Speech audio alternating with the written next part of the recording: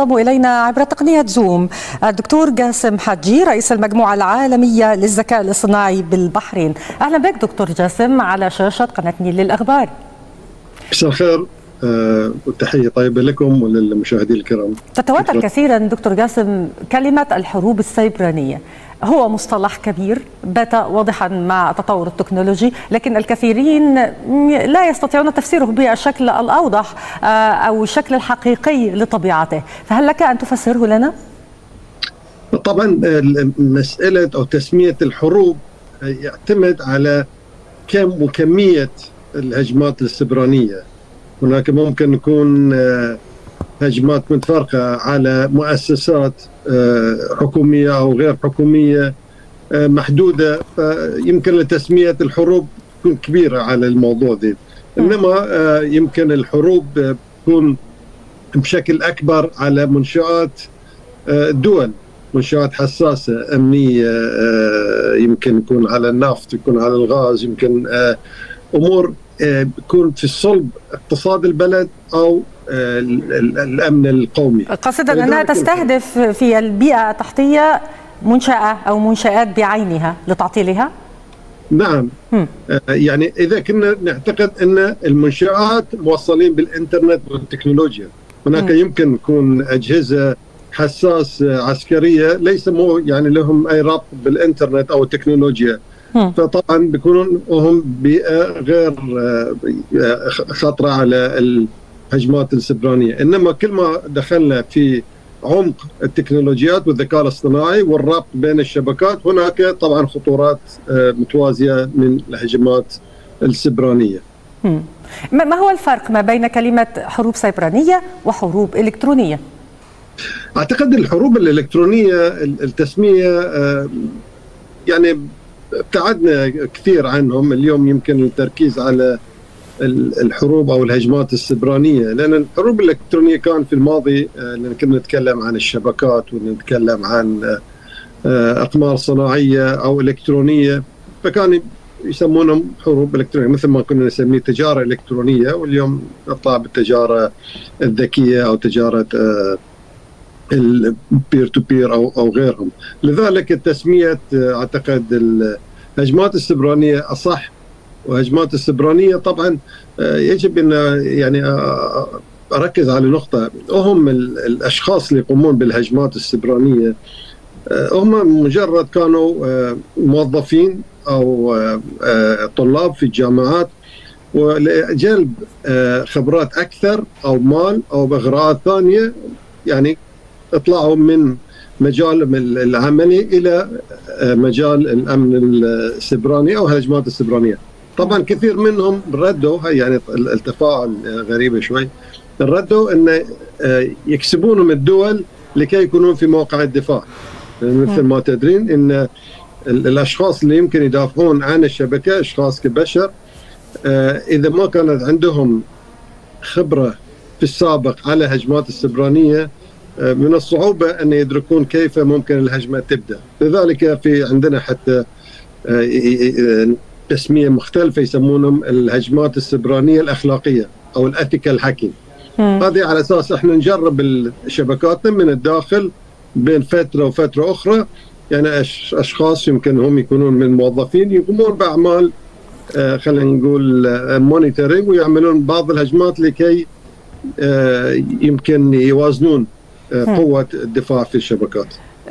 دكتور جاسم ظهر مصطلح الحرب السيبرانية أو الهجمات السيبرانية بشكل كبير في السنوات القليلة الماضية مع الحرب الروسية الأوكرانية أو فلنقل الحرب الروسية الأمريكية على الأرض الأوكرانية ربما ظهر المفهوم على السطح بشكل أكثر مع الكثير من الهجمات السيبرانية لكن متى ظهر مفهوم حرب سيبرانية على التحديد وأصبح مفهوم؟ والله إذا ممكن تستغربين إذا قلت لك من من أكثر من 180 سنة من 1843 وخفضاني في فرنسا كان بعض الأشخاص عملوا هجمات في وقت طبعا ما كان في شبكات مثل اليوم أو الإنترنت ولكن الدخول على حسابات أشخاص في البنك لكي يعني يكسبون بعض المال أو يحولون من حساب إلى آخر. ولكن كان بشكل متواضع. أعتقد ال ال في ذروة الهجمات السبرانية يمكن من 2005 وبعد ذلك.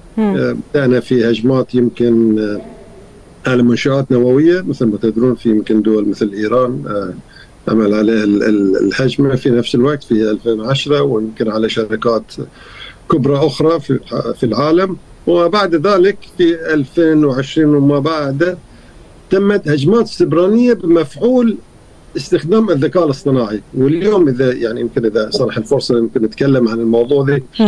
اليوم أيضا إحنا في مرحلة متقدمة جدا.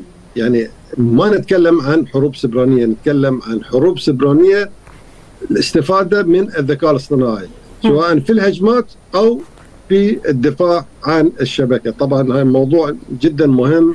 كيف استطاعت الحروب السيبرانية الاستفادة من فكرة هذا التطور المذهل في الذكاء الاصطناعي؟ آه يعني أنت تدرين إن الهاكرز آه أو القراصنة دائما هم آه يعملون على مراقبة الشبكات. ومراقبة بيانات ضخمة. ومنهم يعني السرعة البيانات وجود ثغرات فهاي كلها عمل أشخاص يعملون على مدار الساعة أو على انتداب لكي يقومون بهالاشغال. طبعا الذكاء الاصطناعي سهل كثير العملية على الأشخاص.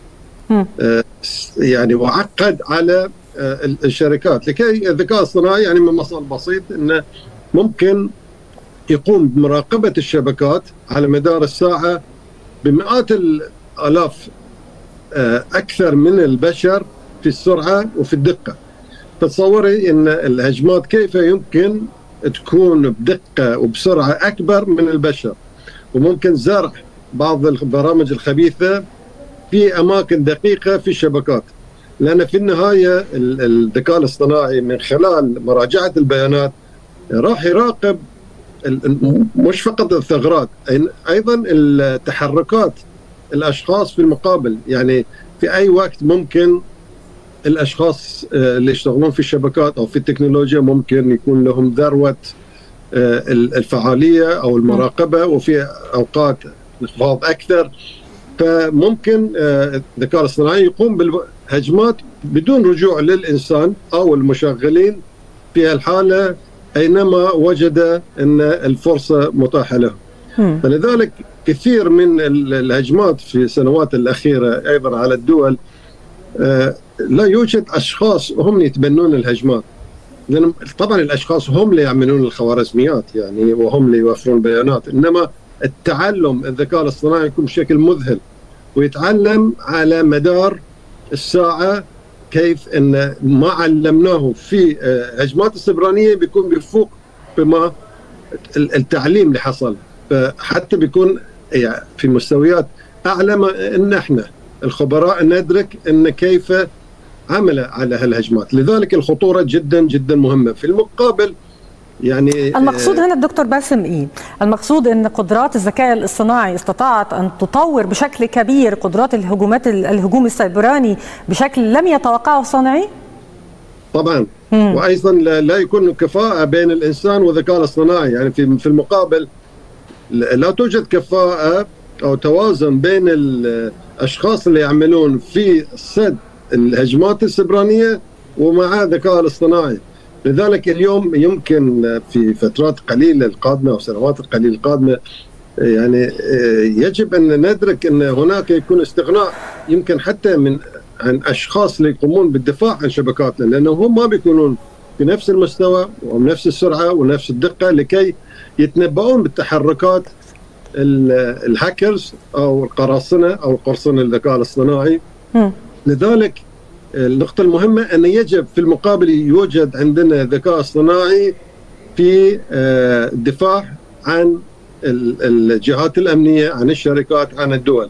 فالغلبة مثل ما يعني تتنبهين بتكون للذكاء الاصطناعي أكثر تطورا في الدفاع أو في الهجوم.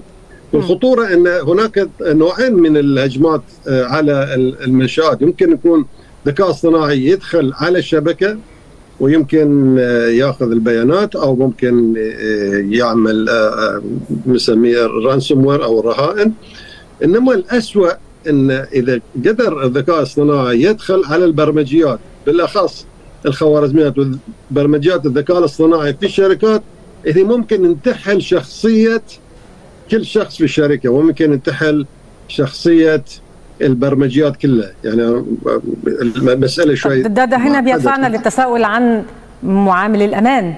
في التعامل مع البرمجيات بشكل أو بآخر خاصة إذا كانت تستخدم في المصارف والبنوك وما شابه وإذا كانت قدرات الذكاء الاصطناعي بهذا الشكل فهو فأي من هذه الجهات العاملة في مجال البنوك أو الأموال ليست بمعزل عن فكرة التعرض لمثل هذه الأنواع من الهجوم السيبراني أو هذه الهجمات السيبرانية. صحيح. يعني البنوك المستقبل إحنا نسميهم neo banks نيو مش يعني جديد إنما ان اي أو البنوك اللي يمكن اعتمادهم الكلي في الاستثمار في الدفاع في الصيرفه على الذكاء الاصطناعي ولا يوجد هناك أشخاص في المستقبل يعملون أساسا في في هال المصارف إنما نعم. أشخاص وهم تقنيين يكونوا في خلق في ذلك. نعم. حضرتك ذكرت تاريخ 2005 2004 على أنه بداية فكرة تطور الحرب السيبرانية أو الهجمات السيبرانية لكن يقال أن 2010 هو تطور كبير جدا بظهور واحد من الفيروسات الشهيرة في عالم الهجمات السيبرانية بشكل أو بآخر ما هي قصة هذا الفيروس الذي أشار إلى فكرة قدرات الذكاء الاصطناعي وتطورها في الهجمات السيبرانية؟